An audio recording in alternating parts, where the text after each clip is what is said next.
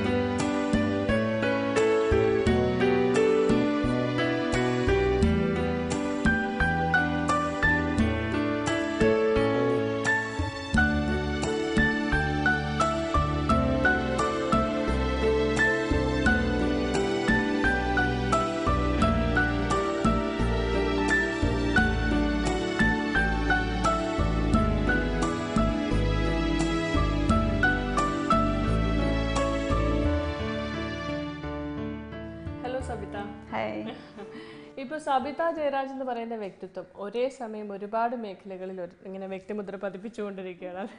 Costume designing acting ഒക്കെ ആയിട്ട്. അപ്പൊ ഇതിൽ ഏതായിട്ട് അറിയപ്പെടാനാണ് ഏറ്റവും ഇഷ്ടം?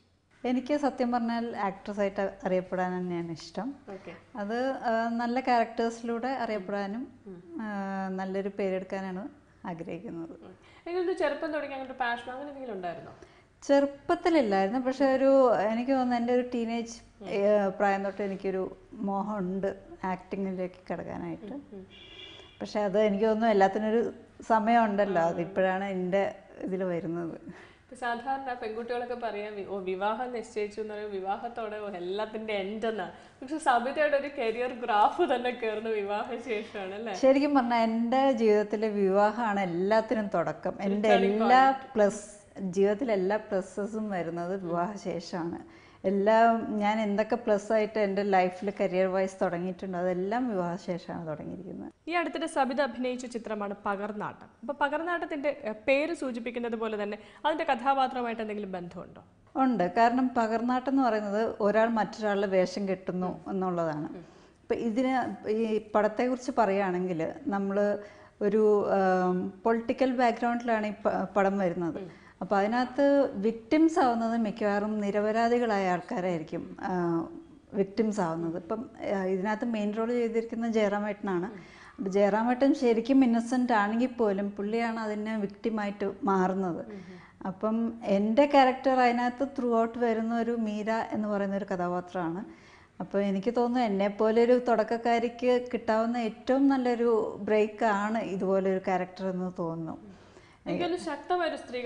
അതെ വളരെ ബോൾഡായിട്ടുള്ള ഒരു സ്ത്രീ കഥാപാത്രമാണ്. കാരണം ഒരു ഒരു ടു ഫേസസ് ഉണ്ട് ആ കഥാപാത്രത്തിന് തന്നെ. കാരണം വളരെ സാധാരണമായ ഒരു കുടുംബത്തിൽ നിന്ന് വന്നിട്ട് പിന്നെ ബോൾഡായിട്ട് റിയാക്ട് ചെയ്ത് ഈ ഇന്നസെന്റ് വിക്ടിമിനെ ഇന്നസെൻസ് തെളിയിക്കാനുള്ള ഒരു ഇറങ്ങിപ്പുറപ്പാടാണ് ഈ ക്യാരക്ടറിന്റെ എന്ന് ശരിക്കും മീരനെ പോലെ ഒരു ബോൾഡായിട്ടുള്ള ഒരു ക്യാരക്ടറാണ് സബിത?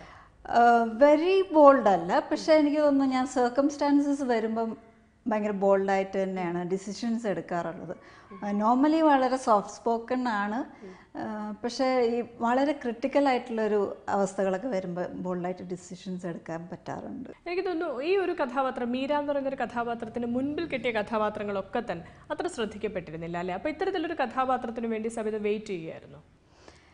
ശരിക്കും പറഞ്ഞാൽ മെയിൻ റോൾ ഞാൻ വെയിറ്റ് ചെയ്യുന്നുണ്ടായിരുന്നു. എനിക്ക് തോന്നുന്നു ഒരു ജയരാജിന്റെ വൈഫ് എന്നുള്ള ഒരു ലേബൽ ഉള്ളതുകൊണ്ടാണോന്നറിയില്ല. അതോ ഇനി ജയരാജിന്റെ വൈഫ് ആയതുകൊണ്ട് ജയരാജിന്റെ പടത്തിൽ മാത്രമേ അഭിനയിക്കൂ എന്നുള്ളത് അങ്ങനെ ഒരു തോട്ട് മറ്റ് ഡയറക്ടേഴ്സിനുണ്ടോ എന്നറിയില്ല അപ്പോൾ ഞാൻ ഈ വനിത എന്നുള്ള പ്രോഗ്രാമിലൂടെ അറിയിക്കുകയാണ്. എനിക്ക് അങ്ങനെ ഒരു അങ്ങനത്തെ പ്രശ്നമൊന്നുമില്ല. നല്ല ഡയറക്ടേഴ്സും നല്ലൊരു കഥാപാത്രങ്ങളൊക്കെ ആണെങ്കിൽ എനിക്ക് ആരുടെ പടമായാലും കുഴപ്പമില്ല. ആക്ട് ചെയ്യാൻ ഞാൻ റെഡിയാണ് പിന്നെ എനിക്ക് തോന്നുന്നു നല്ല സ്ത്രീ കഥാപാ നല്ല പ്രൊമിനന്റായ കഥാപാത്രങ്ങളായിരിക്കണം. കാരണം നമുക്ക് എന്തെങ്കിലും കൺവേ ചെയ്യാൻ വേണം. ചുമ്മാ ഒരു പാട്ടോ അങ്ങനെ ചെയ്തിട്ട് കാര്യമില്ല. നമ്മുടെ നമ്മുടെ റോളിനെ എന്തെങ്കിലും കൺവേ ചെയ്യാൻ കാണണം.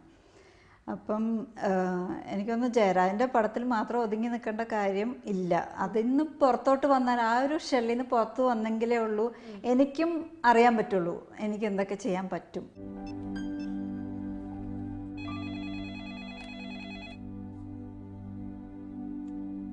വല്യുപ്പ വിസ കിട്ടി. അതില്ല ഇപ്പൊ വേറൊരു വിഷയം. മുസ്തഫ ബാങ്കിൽ പോയിട്ട് അവിടെ കായില്ല. പഠിച്ചോനെ ഇന്ന് എന്തായാലും വരുമെന്നാണല്ലോ ഓൽ പറഞ്ഞേ. സുഹാന ഇനിയിപ്പോ ആ കായ് കിട്ടിയിട്ട് ഉപ്പാന്റെ പോക്ക് നടക്കും തോന്നില്ല. ഈ പതുക്കെ വന്നാ മതി. അങ്ങനെ പറഞ്ഞ എങ്ങനെ ഉപ്പ? വല്യുപ്പ പോവാണ്ടിരിക്കണ പ്രശ്നമില്ല. ഞാൻ ഓഫീസറെ കണ്ടിട്ട് വിളിക്കാം. ഇപ്പൊ സാധാരണ ചില അമ്മമാരൊക്കെ പറയാറുണ്ട്. അതായത് ഇപ്പൊ ടീച്ചേഴ്സ് ആണെങ്കിൽ തന്നെ അവർ സ്വന്തം കുട്ടികളെ മറ്റൊരാളുടെ കീഴിൽ വിട്ട് പഠിപ്പിക്കും. അങ്ങനെയൊക്കെ സാധാരണ പറയും. കാരണം വെച്ചാൽ നമ്മൾക്ക് കൂടുതൽ ഫ്രീഡം നമ്മൾ എടുക്കും എന്നുള്ളത് കൊണ്ടാണ് അപ്പൊ ഭർത്താവ് ഡയറക്ടർ ഇപ്പൊ എങ്ങനെയാണ്? മറ്റൊരു ഏതൊരു ആർട്ടിസ്റ്റിനോടും പെരുമാറുന്ന പോലെ തന്നെ എന്നോടും പെരുമാറുന്നത് കാരണം അവിടെ ഒരു husband and wife relationship totally ഇല്ല. എനിക്ക് തോന്നുന്നു ആ ടോട്ടൽ ആ വർക്ക് നടക്കുമ്പോൾ പോലും അങ്ങനെ ഒരു റിലേഷൻഷിപ്പ് ഇല്ല. ഈവൻ നമ്മൾ വർക്ക് കഴിഞ്ഞ് റൂമിലെത്തുമ്പോഴായാലും ഡിസ്കസ് ചെയ്യുന്നത് നാളത്തെ സീനിനെ കുറിച്ചും നാളെ എന്തൊക്കെ ചെയ്യാം ആ ഒരു സീനിന് നമ്മൾ എന്തൊക്കെ ഇമ്പ്രവൈസേഷൻസ് കൊടുക്കാം എന്നുള്ളതിന്റെ ഡിസ്കസ് ചെയ്യാണ് ചെയ്യുന്നത്. ഇപ്പം ആൾക്കാരുടെ ഇടയിൽ വെച്ചാണെങ്കിൽ ഞാനും ഇഷ്ടംപോലെ വഴക്കൊക്കെ കേട്ടിട്ടുണ്ട്. അതൊന്നും ഒരു പ്രശ്നമായിട്ട് തോന്നിയിട്ടുമില്ല. കാരണം അത് പാർട്ട് ഓഫ് ദ പ്ലേ ആണ്. അതുകൊണ്ട് കുഴപ്പമില്ല.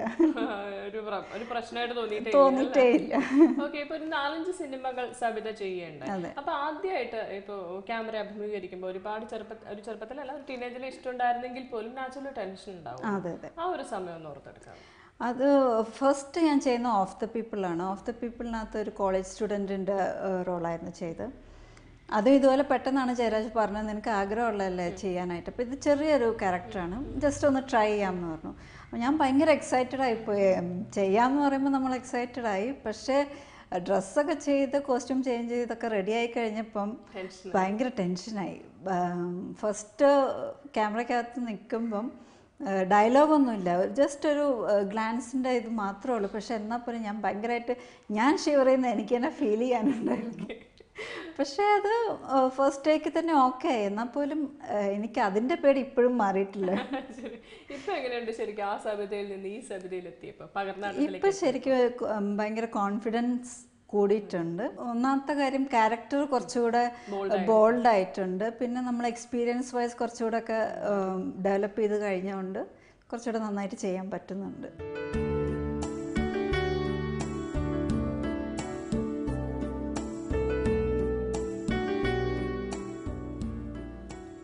നമ്മളിപ്പോ ഇരിക്കുന്ന ഈ ഒരു ടേബിൾ തന്നെ ചുരുളൻ വെള്ളത്തെ ഡൈനിങ് ടേബിൾ ആക്കി ഇരിക്കുകയാണ് അല്ലേ? അതെ അതെ. അപ്പൊ നല്ല രസമുണ്ട് ഇന്റീരിയർ അതുകൊണ്ട് തന്നെ ചോദിക്കുകയാണ്. ഇപ്പൊ സബിത ഒരു ഇന്റീരിയർ അങ്ങനത്തെ ഒരു ഇതിലും ടേസ്റ്റ് ഉണ്ടോ? ഇല്ല ഇന്റീരിയർ അത് നയന്റി പെർസെന്റ് ജെറാജിന്റെ. എനിക്ക് തോന്നുന്നു കോസ്റ്റ്യൂം ഡിസൈനിങ്ങിലാണല്ലേ എന്റെ മിക്കവാറും കോസ്റ്റ്യൂംസും പിന്നെ വീട് അറേഞ്ച് ചെയ്ത് വെക്കാനൊക്കെ എനിക്ക് ഇഷ്ടമാണ് പക്ഷേ കോൺട്രിബ്യൂഷൻസ് മിക്കവാറും ജെറാജിന്റെ തന്നെ. സബിത ഇപ്പൊ നമ്മൾ ഡിസൈനിങ്ങിനെ കുറിച്ച് പറഞ്ഞത് കൊണ്ട് തന്നെ ഡിസൈനിങ്ങിന്റെ കാര്യത്തിലേക്ക് പോകാം. സബിത ഒരു സമയത്ത് തിളങ്ങി നിന്നത് ഒരു സമയത്തല്ല ഇപ്പോഴും അതെ കോസ്റ്റ്യൂം ഡിസൈനിങ്ങിന്റെ കാര്യത്തിലാണ്. സ്റ്റേറ്റ് അവാർഡ് പോലും കിട്ടിയിരുന്നു. അപ്പോൾ ആദ്യത്തെ ഒരു എൻട്രിയെ കുറിച്ച് ഒന്ന് പറയാം എനിക്ക് തോന്നുന്നു ഞാൻ കോസ്റ്റ്യൂം ഡിസൈനിങ്ങിലേക്ക് തിരിയാനും കാരണം ജയരാജ് തന്നെയാണ്. കാരണം എനിക്കൊരു ഡ്രസ്സിങ് സെൻസ് ഉണ്ടായിരുന്നു കളർ സെൻസ് ഉണ്ടായിരുന്നു. അപ്പോൾ ജയരാജ് തന്നെയാണ് പറഞ്ഞത് എന്തുകൊണ്ട് നിനക്ക് ഫാഷൻ ഡിസൈനിങ്ങിലേക്ക് തിരിഞ്ഞുവിടാന്നുള്ളത് അപ്പോൾ അന്നത്തെ മീൻസ് ഞാൻ ഫാഷൻ ഡിസൈനിങ് കോഴ്സ് ചെയ്യാൻ പോയത് ടു തൗസൻഡിലായിരുന്നു ആ സമയത്ത് എനിക്കൊന്ന് കേരളത്തിൽ അങ്ങനെ ഒരു ഫാഷൻ ഡിസൈനിങ് കോഴ്സായിട്ട് എവിടെയും തുടങ്ങിയിട്ടില്ലായിരുന്നു. അപ്പം ഞാൻ ചെയ്തത് എൻ ഐ എഫ് ടി ഡൽഹിയിലായിരുന്നു. അത് എൻട്രൻസ് ചെയ്തിട്ട് വേണമായിരുന്നു കയറാനായിട്ട് അപ്പോൾ എൻട്രൻസ് എഴുതി കിട്ടിയപ്പോൾ തന്നെ അതൊരു വലിയൊരു സംഭവമായിരുന്നു. അപ്പോൾ അത് കോഴ്സ് കഴിഞ്ഞ് വന്നപ്പം ചെറായനെയാണ് പറഞ്ഞത്. എന്നാൽ നമുക്ക് സിനിമയിലൂടെ തന്നെ തുടങ്ങാം. കാരണം ബൊട്ടീക്സ് ഇടാനും അങ്ങനെ ഒരു ഓൺ ബിസിനസ്സിലേക്ക് തിരിയാൻ എനിക്ക് വലിയ താല്പര്യമില്ലായിരുന്നു. അപ്പം സിനിമയിലേക്ക് എൻട്രി നടത്തിയതും കോസ്റ്റ്യൂം ഡിസൈനിങ്ങിലൂടെ ആയിരുന്നു. ഏതായിരുന്നു ആദ്യ സിനിമ? കരുണം. കാരണം. കാരണം. അപ്പൊ അതിലേക്ക് ഇപ്പൊ പറഞ്ഞ പോലെ തന്നെ എൻ എഫ് ടി പഠിച്ചിറങ്ങി. പക്ഷെ സിനിമയ്ക്ക് വേണ്ടി ചെയ്യുമ്പോൾ എന്തൊക്കെ കാര്യങ്ങളായിരുന്നു അന്ന് ശ്രദ്ധിച്ചിരുന്നത്? എൻ എഫ് ടിന്ന് പഠിച്ചിറങ്ങുമ്പോൾ ശരിക്കും അതൊരു ടോട്ടലി ഡിഫറെന്റ് വേൾഡ് ആണ്. സിനിമ എന്ന് പറയുമ്പോൾ നമുക്ക് ശരിക്കും ക്യാരക്ടർ വൈസ് ആണ് നമ്മൾ ചെയ്യേണ്ടത്. ക്യാരക്ടറും ലൊക്കേഷനും ആൻഡ് ഇൻക്ലൂഡിങ് ദ ക്യാമറാമാന്റെ സജഷൻ വെച്ച് വേണം നമ്മൾ ഒരു പടത്തിന് വേണ്ടി ചെയ്യുമ്പോൾ ചെയ്യാനായിട്ട്. കാരണം ക്യാമറാമാന്റെ ഒരു അവർക്കറിയാം ഒരു ബാക്ക്ഗ്രൗണ്ട് വരുമ്പോൾ എന്തൊക്കെ കളർ അതെ കളർ സ്കീം ചൂസ് ചെയ്യുന്നതൊക്കെ അവരുടെയും കൂടെ ഇഷ്ടം അനുസരിച്ചായിരിക്കും. പിന്നെ ബേസിക്കലി നമ്മൾ ആ ക്യാരക്ടർ അനുസരിച്ചുള്ള നമ്മൾ തന്നെ സെലക്ട് ചെയ്ത് കളേഴ്സ് ചൂസ് ചെയ്ത് വെച്ച് കാണും. പക്ഷേ ഇന്ന ഷോട്ടിൽ ഇന്നത് വേണം എന്നുള്ളത് ക്യാമറാമാന്റെ സെൻസ് അനുസരിച്ചായിരിക്കും നമ്മൾ യൂസ് ചെയ്യുന്നത്. കോസ്റ്റ്യൂം ഡിസൈനിങ് ഒരുപാട് ചിത്രങ്ങൾക്ക് വേണ്ടി നിർവഹിച്ചതിൽ ഏറ്റവും ചലഞ്ചിങ് ആയിട്ട് തോന്നിയത് ഏതായിരുന്നു? ശരിക്കും ചലഞ്ചിങ് ആയിട്ട് എനിക്ക് ഞാൻ ചെയ്തത് ബിബൽസ എന്ന് പറഞ്ഞ ഒരു ജരാജന ചെയ്തായിരുന്നു ഒരു ഹിന്ദി മൂവി അത് സീമാ വിശ്വാസൻ അതുൽ കുർക്കലിനെയായിരുന്നു അതിന് ലീഡ് റോൾ ചെയ്തിട്ടുണ്ടായിരുന്നു ചലഞ്ചിങ് എന്ന് എടുത്തു പറയാൻ കാരണം എന്താ വെച്ചാൽ അത് ഒരു ആദിവാസി ബാക്ക്ഗ്രൗണ്ട് ആയിരുന്നു അതിനകത്ത് മെയിനായിട്ട് വന്നുകൊണ്ടിരുന്നത് അപ്പം ആദിവാസി കൾച്ചറിലുള്ള ഒരു ബാക്ക്ഗ്രൗണ്ട് ചെയ്യുമ്പം ഞങ്ങൾ വയനാടൻ ഉൾഗ്രാമങ്ങളിലൊക്കെ പോയിട്ട് അവരുടെ കോസ്റ്റ്യൂംസ് ഒക്കെ സ്റ്റഡി ചെയ്ത് ചെയ്യാമെന്നൊക്കെ വിചാരിച്ചാണ് പോയത്.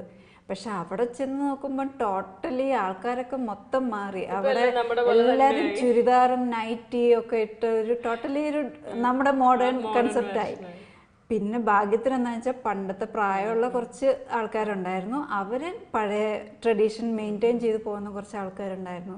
അവരോട് സംസാരിച്ച് കുറച്ചൊക്കെ അവരുടെ കാര്യങ്ങളൊക്കെ മനസ്സിലാക്കി. ഈവൺ അവരുടെ ആക്സസറീസ് ഒക്കെ ഭയങ്കര ഡിഫറെന്റ് ആയിരുന്നു. അതൊക്കെ നമ്മൾ പ്രത്യേകം പറഞ്ഞ് ചെയ്യിക്കണമായിരുന്നു. ഓലയുണ്ട് പിന്നെ പഴയ മെറ്റലിന്റെ കാര്യങ്ങളൊക്കെ. അത് ഒരു കൊച്ചു കടയാണ് അത് ഉണ്ടാക്കുന്ന ഒരു ചേട്ടനൊക്കെ ഉണ്ടായിരുന്നു. അതൊക്കെ നമ്മൾ പറഞ്ഞ് ചെയ്യിച്ച് ഉണ്ടാക്കിയതായിരുന്നു നല്ല എക്സ്പീരിയൻസ് അത് വളരെ ഡിഫറെന്റ് ആയിട്ടുള്ള ഒരു എക്സ്പീരിയൻസ് സ്റ്റേറ്റ് അവാർഡ് കിട്ടിയത് പക്ഷേ ഇതിനൊന്നും അല്ല അല്ല, അല്ല. ആ ഒരു എക്സ്പീരിയൻസ് സ്റ്റേറ്റ് അവാർഡ് കിട്ടിയത് കണ്ണകി എന്ന് പറയുന്ന മൂവിക്കാണ്. അത് ലാലേട്ടനും നന്ദിതാദാസും ആയിരുന്നു അതിനകത്ത് ചെയ്തത്. അത് ചെയ്തത് ഒരു കോഴിപ്പോരിന്റെ കോഴിപ്പോരിന്റെ ബാക്ക്ഗ്രൗണ്ടിലായിരുന്നു വന്നത്. അത് കിട്ടിയത് എനിക്ക് വളരെ അപ്രതീക്ഷിതമായിട്ടായിരുന്നെങ്കിൽ ഭയങ്കര സർപ്രൈസിങ് ആയിട്ട് തോന്നി. വളരെ സന്തോഷം തോന്നി. കാരണം എനിക്ക് തോന്നുന്നു ഒരു ഫീമെയിൽ കോസ്റ്റ്യൂം ഡിസൈനർ ഫസ്റ്റ് ടൈമാണ് കേരളത്തിൽ കിട്ടുന്നത്. വളരെ സന്തോഷം തോന്നി.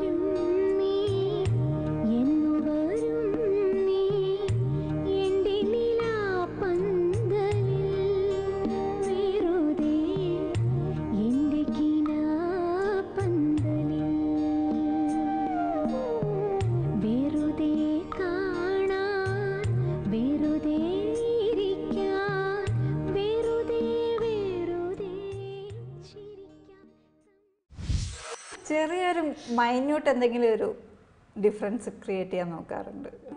ദയവായിട്ട് നമുക്ക് ഓരോ ഫീച്ചർ വൈസ് ഏത് സ്ത്രീക്കും അതിന്റെതായ ബ്യൂട്ടി ഉണ്ട് അവരുടേതായ വ്യക്തിത്വമുണ്ട്. അത് നമ്മൾ പ്രോമിനന്റ് ആയിട്ട് കൊണ്ടുവരണം എന്നുള്ളത്. അല്ലാതെ അത് മേക്കപ്പിലൂടെയോ ഓവർ ഡ്രസ്സിങ്ങിലൂടെ കൊണ്ടുവരേണ്ട ആവശ്യമില്ല.